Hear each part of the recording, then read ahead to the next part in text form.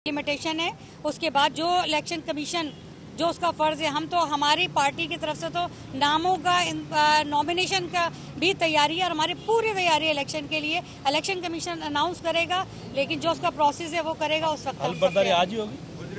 ठीक है अलग बर्दारी जो है वो आज हमारे वक्त से पहले हमने इनसे ये चीज़ें हमारी हो गई है और अब नोटिफाई है और उसके बाद इंशाल्लाह वज़ीर आला बहुत शुक्रिया बहुत शुक्रिया। आप सबका भी बहुत शुक्रिया। निगरान वजी अला सिंध जस्टिस रिटायर्ड मकबूल बाकर होंगे। अपोजिशन लीडर राना अंसार की जानब से बाकायदा ऐलान कर दिया गया है। अपोजिशन लीडर सिंध असम्बली गुफ्तु कर रही थी। आपने मुलाहजा भी की।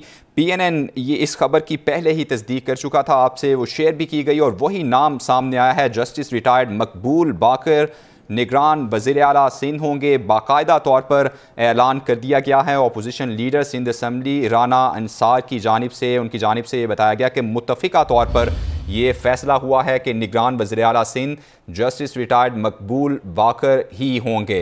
वज़ी अला मुराद अली शाह से मुलाकात के बाद opposition leader Sindh assembly Rana Ansar की जानब से ये बाकायदा ऐलान सामने आया है। उनकी जानब से बताया गया कि जस्टिस रिटायर्ड मकबूल बाकर निगरान वज़ी अला सिंध होंगे। साथ ही साथ उन्होंने कहा कि हम उम्मीद करते हैं कि ये नाम सिंध की आवाम के लिए भी अच्छा होगा और हम उम्मीद करते हैं कि आइंदा इलेक्शन भी साफ़ शफाफ होगा।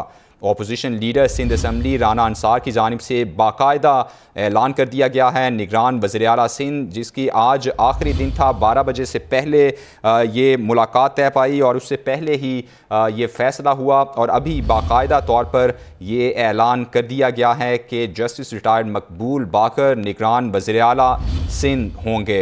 मुलाकातों का सिलसिला जारी था। तीन दिन कबल असम्बली तहलील की गई थी और उसके बाद वज़ी अली मुराद अली शाह और अपोजिशन लीडर सिंध असम्बली में मुलाकातों के कई दौर हुए। पहले कुछ दौर बेनतीजा ही ख़त्म हो गए और अभी जस्टिस रिटायर्ड बाकर मकबूल बाकर का नाम सामने आ रहा था। पी एन एन के ज़राए ने भी इस बात की तस्दीक की थी और वही हुआ जो पी एन एन ने आपसे ख़बर शेयर की थी। सी एम हाउस के बाहर से हमारे नुमाइंदे आफ्ताब मुगीरी ने हमें ज्वाइन किया, उनसे जानते हैं वहाँ पर क्या सूरत हाल है। जी, आफ्ताब बताइए। देखिए जी, बड़ी अहम खबर है। हमने पी की नाजरन को अपने जराए से पहले ही खबर दे दी थी कि सिंध के निगरान वज़ीर आला जस्टिस रिटायर मकबूल बाकर होंगे।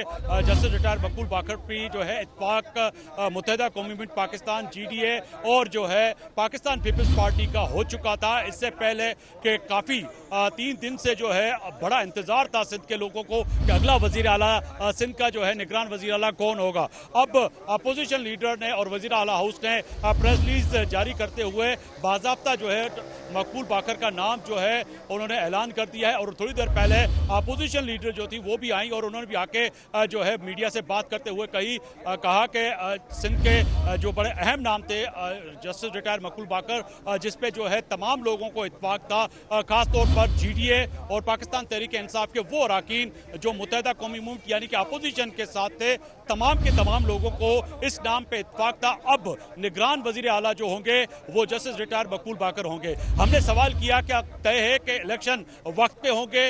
उन्होंने कहा कि इलेक्शन का जो शेड्यूल है वो बिल्कुल अहम है और इलेक्शन जो है अपने वक्त मुकर जो इलेक्शन कमीशन पाकिस्तान ने टाइम दिया है, उस पर ही इलेक्शन होंगे। इलेक्शन की तैयारी के लिए मुतहदा कौमी मूवमेंट और तमाम अपोजिशन जमातें और खासतौर पर हुकूमती जमात जो थी, पाकिस्तान पीपल्स पार्टी, सब के सब तैयार हैं। अब इलेक्शन में जाना है। आज बड़ा अहम मरला था जो कि तय पा गया और निगरान वज़ीर अला का जो नाम था जस्टिस रिटायर मकबूल बाकर उसका जो है अच्छा आफ्ताब ये बताइए कि नाम ये चूँकि प्रोसेस यही होता है कि गवर्नर को ये भेजना होता है नाम और वो जो है उस पर दस्तखत करते हैं तो ये प्रोसेस भी मुकम्मल कर लिया गया है। देखिए जी, मैं जहाँ तक सुन सका हूँ कि गवर्नर से थोड़ी देर पहले वजी अला सिंध सईद मुराद अली शाह से टेलीफोनी रबता भी हुआ था और हमारे जराए ये भी बता रहे हैं कि कल जस्टिस रिटायर मकबूल बाकर जो है, गवर्नर सिंध जो है, उनसे हलफ लेंगे ठीक है, आफ्ताब, आप हमारे साथ ही मौजूद रहिएगा। आपसे मजीद तफसी भी लेंगे। वजी अला सिंध मुराद अली शाह से मुलाकात के बाद राना अंसार, जो कि अपोजिशन लीडर सिंध असम्बली हैं, उनकी जानब से ऐलान कर दिया गया है कि निगरान वजी अला सिंध जस्टिस रिटायर्ड मकबूल बाकर होंगे। जस्टिस रिटायर्ड मकबूल बाकर के नाम पर इतफ़ाक़ कर लिया गया है। मुतफ़ा ये फ़ैसला सामने आया है हुकूमत की जानब से और अपोजिशन की जानब से, चूँकि अपोजिशन की जानब से भी जब पहले ये तहफ़ात का इजहार किया गया, लेकिन उसके बाद, मुशावरत के बाद इस नाम पर बाकायदा इतफ़ाक़ हुआ है और अभी बाकायदा तौर पर उनके नाम का ऐलान कर दिया गया है। निगरान वज़र अला सिंध के लिए जस्टिस रिटायर्ड मकबूल बाकर, जो उनका नाम कन्फर्म कर दिया गया है। Opposition leader Sindh assembly Rana Ansar की जानब से मीडिया से गुफ्तु में बाकायदा ऐलान किया गया है। जस्टिस रिटायर्ड मकबूल बाकर सिंध के निगरान वज़ी अला होंगे। हलबरदारी की तकरीब को लेकर उनसे जब सवाल किया गया तो उन्होंने बताया कि अभी इस पर वो कुछ नहीं कह सकती। यकीन एक दो रोज़ में जो है हलबरदारी की तकरीब भी होगी। गवर्नर सिंध उनसे हल्फ लेंगे और उसके बाद जो निगरान काबीना है निगरान बुजरा हैं उस हवाले से भी उन्होंने कहा कि मुशावरत होगी। अभी ये पहला मरहला था कि वज़ी अला कौन होगा उस पर इतफ़ाक़ राय हो गया है। वजारतों पर काबीना पर जो है मुशावरत बाद में होगी।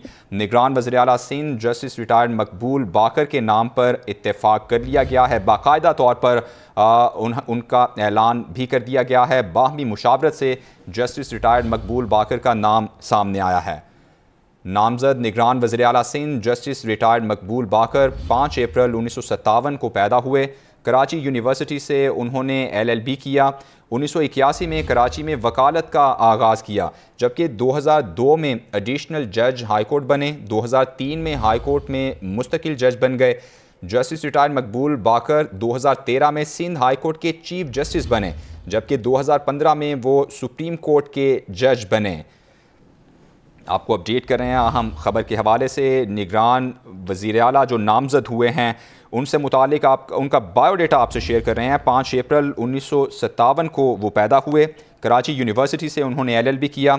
उन्नीस सौ इक्यासी से कराची में वकालत का आगाज़ किया।